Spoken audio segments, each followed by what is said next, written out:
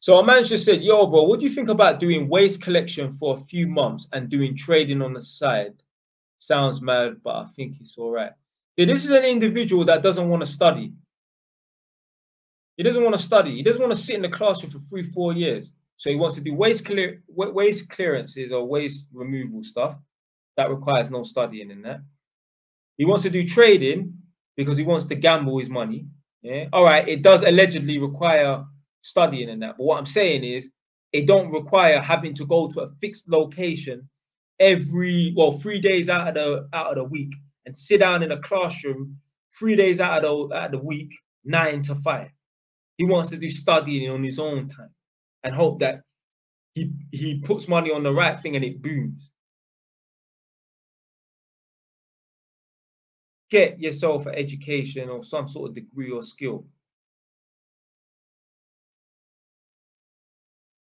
Man saying trading is shit. Only a couple of people make money in that.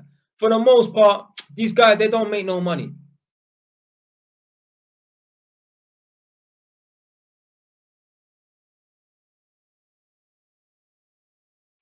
They, they don't they don't make no money like that, most of these guys. And that's what I'm saying. That's why they get pissed off when I talk against trading because they're hoping that's their winning lottery ticket. And I come and I tell them the reality that, yo, you're probably not going to make no money off of it. Yeah? Look at doing other things as well as doing the trading on the side. So they get they get pissed off. And that's why they want to phone me up. Man want to actually have a sit down conversation to convince me why trading is good and that. Blood, he's not going to be talking to me. He's actually going to be talking to himself in the mirror.